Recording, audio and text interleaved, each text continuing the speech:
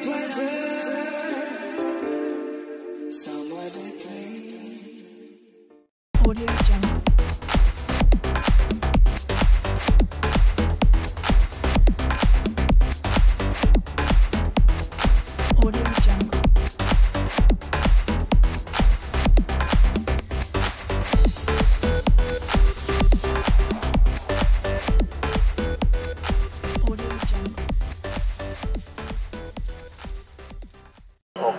Guys, welcome to a long time vlog. I haven't vlogged for a long, long time, and uh, because of COVID and all that crap. Um, but welcome back to Tumbleweed 16. This video today is brought to you by uh, absolutely no one because uh, I've got no one to sponsor the video. So if you want to sponsor the videos, get in touch. Uh, anyway, we're here today at Snetterton for the British Touring Car Practice. Uh, been a long, long time uh, since we've been here, and uh, yeah, really uh, looking forward to it. Um, so you know what touring cars is all about. Um, so we're currently on FP1. Um, got here a little bit late, but in time for the touring cars, which is the main thing, is what we're here to see. Um, as well as some of the other support races. So I filmed some cars, I filmed a thing. Unfortunately, we have literally no access to anything today due to COVID, um, but Snetterton have been absolutely brilliant. We're all social distanced. Um, there's a lot of people here. Uh, they say about 4,000 today. Um, I can see that. But yeah.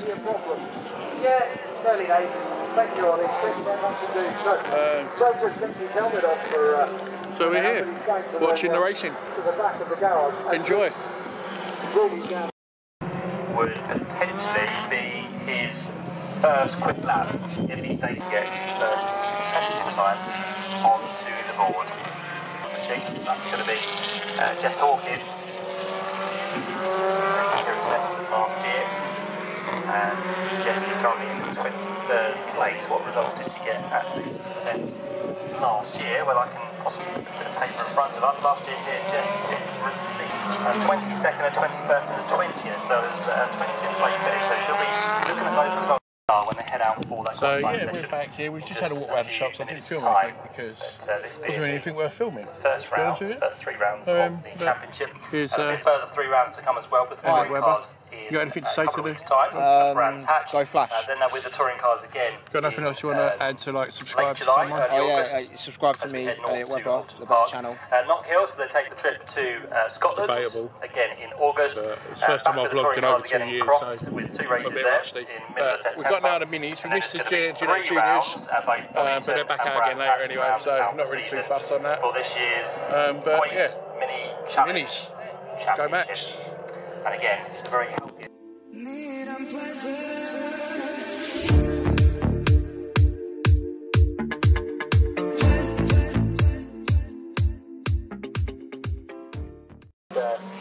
that would be a, a monumental challenge for long time racer in the British Touring Car Championship, Jason Plato, but he's looking for his 100th race win, possibly at some point this year. But here at Snetterton, he does a lot of winning indeed. 13 wins circuit, teammate in the form of Dan Lloyd, and that's been shown again so far in this session.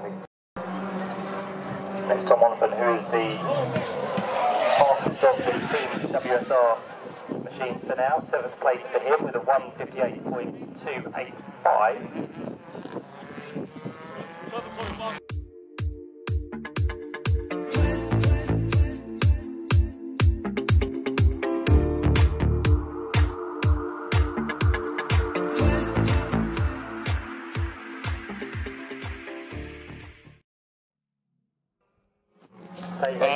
Just caught that, but uh, Nicholas Hamilton just had a bit of a spin in front of us. Um, I don't know how much of it I got, but you'll see if I did. Uh, anyway, it's uh, FP2 at the moment, and uh, at the moment our quickest. Uh, this weekend to Snetterton. Let's see what happens. I haven't really vlogged much today 'cause it's been really hot. Um, so I've just been sitting here chilling, just taking in the atmosphere of being at Snetterton and uh, being trackside, which I haven't been for for a long, long time. As you probably gathered, my last vlog was Snetterton two years ago. So anyway, see you soon. Adam Morgan remains down in pit lane.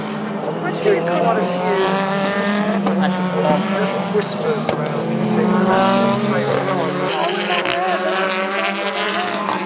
So, on a full weekend, it's to consider looking after, looking after tyres. Being done to the car at the moment. Costco is outside. Sorry. Sorry. Quite a few cars. Pit to- to. Hello to the vlog, Libby. seventh place, which is, is achieved. Say hello to the Uh, vlog. now becomes eighth place because we've had Who an improvement from the championship leader. So Jake Hill has now jumped up into what's going to be fourth place. So great lap there from Jake. No uh, problem There we go. by Who the you looks of spotted? from the walnut earlier on. Impartial. I He's spot jumped into everyone. fourth position behind Sutton, Even Andy Neate. Ingram and Shedden, who still remains quickest on a, a 156.1 with Uh, anyway, uh, minutes yeah, now remaining so within through this FP2, second free practice Uh, my session. three little my, my monkeys. But uh, good I've work well I've got in the pit lane that as many teams will be looking to save tyres, so they're not going to be putting them through the paces in this uh, practice session. They'll do what they need to cooking do, barbecue making sure there. the car's needs car good and up. everything's set up as perfect as it possibly can be know, for qualifying, but And, it will be uh, the yeah. form of the weekend Uh, because the, the, the weather and the tyres So- will really take a pounding, especially around this circuit, which is three miles in length. There's many a corner. The straight as well is, is it's a very busy circuit. It's fair to be saying on Snetterton. But it's very nice to be trackside again, I must admit. Very nice to be trackside. And it's stuff on his face, as 10 normal.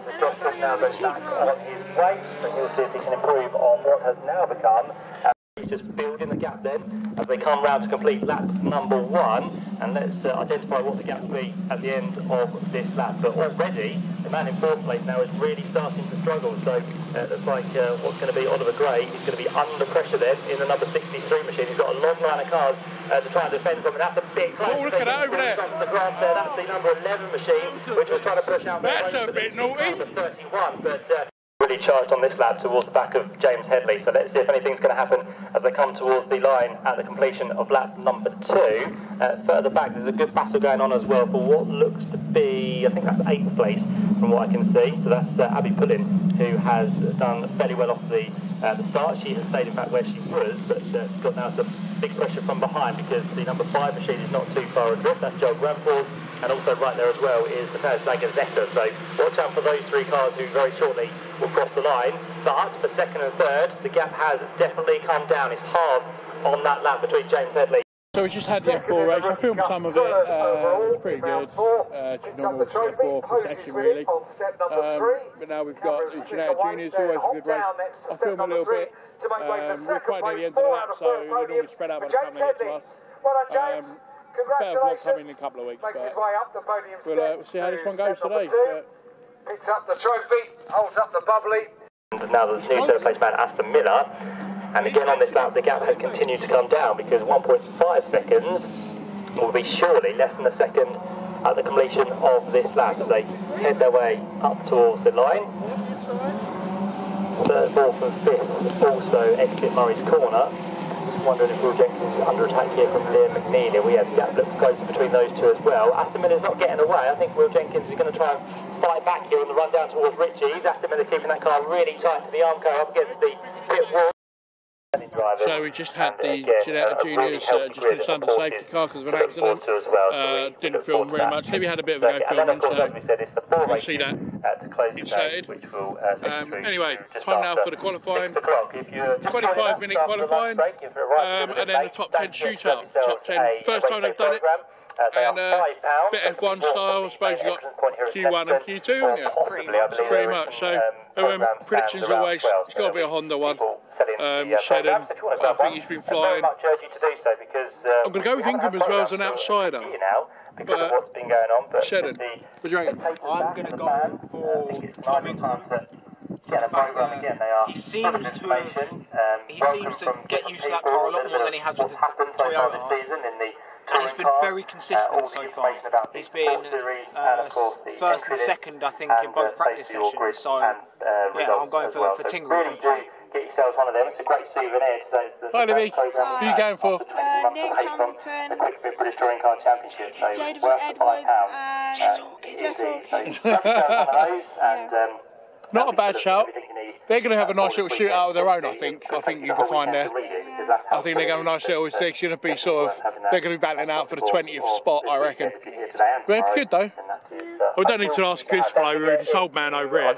Oi, Grumpy, turn around. You're on the vlog. We are now sold out here at Snetterton, so only people that have tickets uh, will be It's allowed. hat now, let me to zoom in. There'll be no, Extreme close on the gate, up. unfortunately, but that might be the case. It's, Of course, the return Yeah, Tingram. of the touring car, so Uh, um, always going to we'll just block out the rest of that. with the limited um, we can now start eating. You think I'll put a warning up for that after that? Government guidelines, but uh, yeah, no tickets for sale on the gate Uh, tomorrow 'cause it's anyway, we'll- we'll have a look at some have a watch pictures, we'll film If you're not some, here at the circuit, and, uh, we'll go from there. But it's very, very hot. Great coverage. Very hot. You will not miss a, minute of the but Colin Turkington is the quickest. Ingram still second, he's still circulating, and Gordon Shedden, another one in the pit, in third place. Oliphant is fourth. Got the centre proctor that leads across the line, uh, Jade Edwards. So those two are going to work out 10 as well. But Turkington is being pushed back out, so he feels he needs to go for another black and white flag as well for number 16. Three minutes left on the clock. Who is currently out of the top 10? Well, Dan Rowbottom is one of, with just under three minutes to go. He's not in the next 30 seconds, so this is disastrous. Josh Cook is also another man out of the pace. We've got uh, as well a minute and a half to go then. Colin Turkington is still quickest. Tom Ingram and uh, Tom Oliphant possibly being pushed down, but they're not going to make it back round. So we're now looking to see who can improve. Rory Butcher, as we said, up into what's going to be, he's down in 14th place as well. Uh, Jack Goff is in 13th place. Who else JP's is on a flyer. Who else is improving through the sectors? Well, watch out for Rory Butcher because it's been a best for him in sector one. Losing out slightly. Indeed. So, well done So that was, uh, the end of F- um, of course, with those FP. three third places at Qualifying. Qualifying, that's the end of the qualifying with the top 10. What I'm going to do is I'm going to hand you over to Elliot Webber because, because you've got to subscribe to his YouTube channel because I won't do it otherwise. Um, he's going to run you down the top 10 and the runners and riders and everything else is going there because basically I'm old and my memory's not that good. So, The top 10 was Colin Turkington, Tom Ingram, Gordon Shedden, Tom Oliphant, Rory Butcher, Jake Hill, Ollie Jackson, Stephen Jelley, Dan Lloyd, and Adam Morgan, I believe, uh, were the ones that made it to the top 10. As I said in my vlog, which you should definitely check out, uh, the heavy hitters who did not make it to qualifying were Ash Sutton, Josh Cook, and Jason Plato. Three drivers there who definitely should have been in that top 10, maybe even all of them in the top 5, but they haven't made it. Ash Sutton's car did not sound healthy at all, his bonnet was up. And uh, yeah, so that's that. Uh, as for Josh Cook, not too sure what happened. Maybe couldn't get a lap in. Maybe he might be struggling with the weight. He is currently second in the standings. As for Plato, uh, he said uh, after FP2 that he had a setup change, so maybe he got the setup wrong uh, in qualifying. But yeah, so that has three heavy hitters out now, which is great. Uh, guy, the big shout outs for Paul, I'd have to say would be Turkington, Tingram, and Gordon Shedden. They are they are looking at the top three quickest drivers, obviously because they were the top three in qualifying. And I wouldn't be surprised if they were the top three in the top ten shootout. My pick for Paul is still Tom Ingram. I think he he surprised everyone at Thruxton by pulling that Hyundai probably where it shouldn't be at the minute. It probably is still a, a, lower top 10 car. Definitely shouldn't be where it is, so I think that just shows how good Tom Ingram is. So I'm still going to go for a Tom Ingram pole position in the Hyundai. Just give a little bit of an advantage those expected outlap again. So the next one is going to have to be the quick one.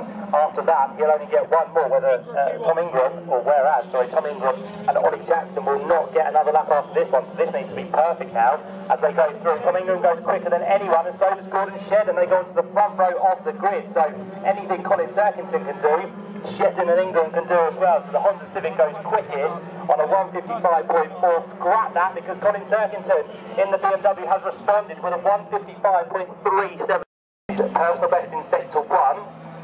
Jake Hill comes into the final corner as well. Currently, he's down in 10th place with a maximum success ballast of 75 kilos. But Jake Hill now up towards the line. He's done a personal best in sector one and sector two. He crosses the line, and Jake Hill does go any higher. No, stays where he is. So throw 1.2. That's as far as Jake Hill will go. I'm afraid to say because I think you may see the checker flag. In fact, no, it's going to get one more lap. It's just about. England goes through, stays third. Jackson goes through and improves to fourth place. Across the line and taking the checker flag. Anyway, that was the end of uh, qualifying, and um, what an end of qualifying that was. Uh, two or three cars all sitting underneath, three cars sitting under the lap record in qualifying, um, and that was absolutely awesome. I think this is the future for touring cars. I love the 10 minute, the showdown, the 10 car showdown. I think it's absolutely brilliant.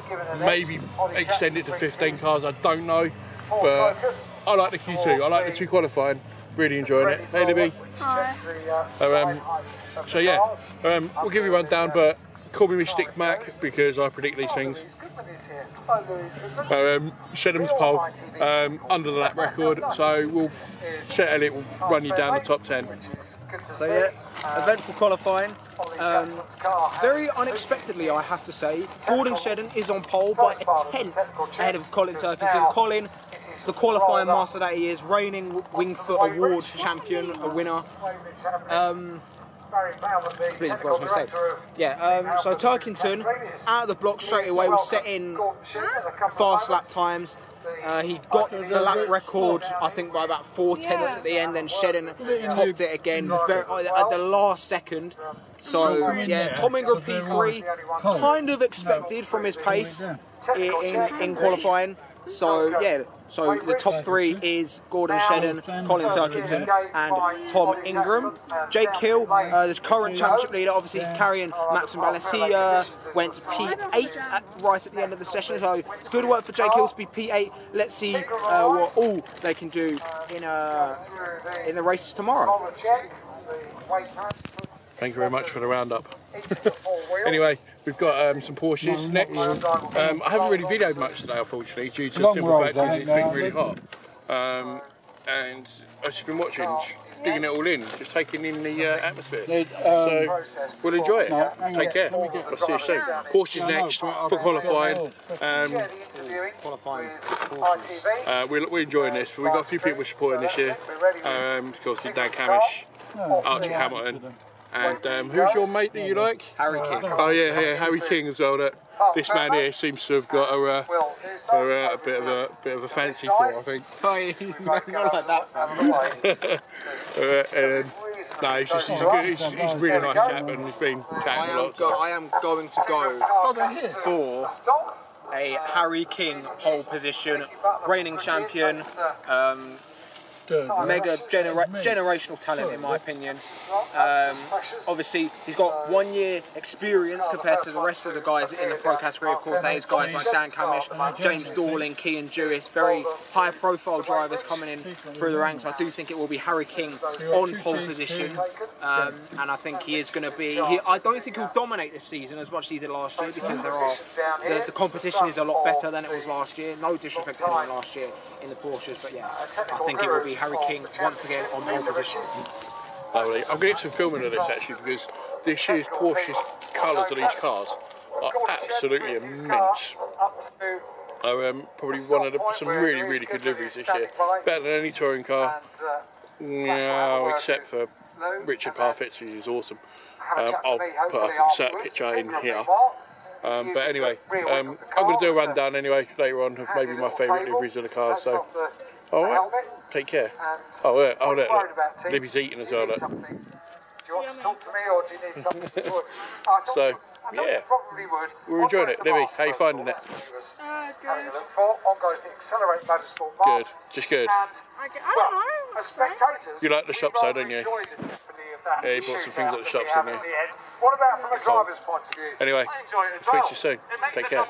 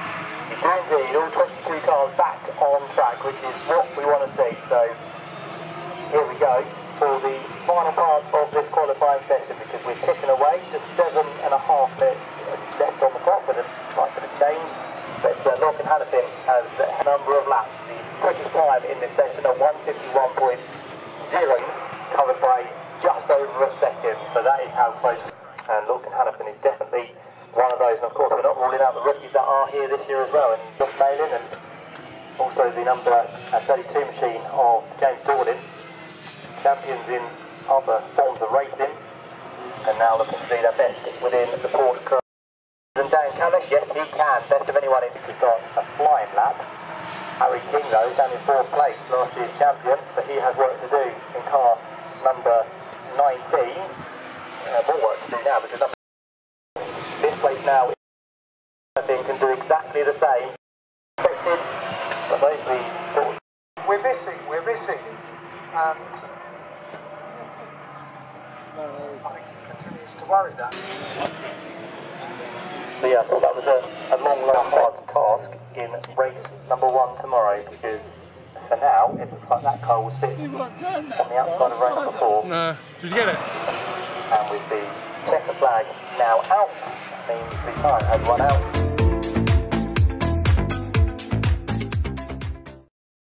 They'll charge up this slight incline in towards Coram, then they'll head back down in towards the final corner of Murray's. But yeah, very close between the top two. Slight gap now between second and third, but it is for the race lead that we have the battle and could be a good toe to be gained here from Max Bird as he comes up to complete lap number one. But will the arms and elbows be out from the race leader, car number 11, Sam Weller? Well, not at the minute because Max Bird is not trying to make an attack. He dabs the brakes just to make sure he's got some as they head in towards the first corner once again. He's brought that gap down. It's just around about a quarter of a Please, the man who moved ahead of Max Ah. Coates has now got him for company Max as well. 71. So they are the next battle behind. But uh, down in towards the left-hander. Still, Sam Weller that leads, but is that gap going to be cut to anything less than a quarter of a second? Possibly going to be about the same because now it's going to be the battle for second and third. It's a great round out the final corner there for Lewis Brown. Can he get anything done on the inside line? It's going to be a brave move, but for now they just sit and wait their turn as they go in towards the first corner. Top seven Had a bit of a move because the sun was really hot, so we moved through it further around and we're closer to the exit now, which is literally just there. So we're at uh, Nelson on the S's and Brundle, Brundle into Nelson uh, on the S's here. I'm going to get out of the car in a minute, I'll film some in a second, but uh, we're halfway through the mini race and I don't know who's winning. Uh, Lewis Brown. Lewis Brown's winning. Um, no, I couldn't see who the other ones were. Max Bird. And then we got Max Coates, who's we support in fifth. That's who we're really worried about. So I'll get some video in a second because it's quite a nice place to sit. So I'll switch you to it. So I've moved on to my phone because my, uh, my battery's flat on the uh, not my battery, my memory card's full. And to be honest, it's hot. Can't bother to go and get it. So we're here on the phone with very, very poor sound because my speakers are broken. I need to get a new phone sorted. But anyway, here we are with the GT Super Cup.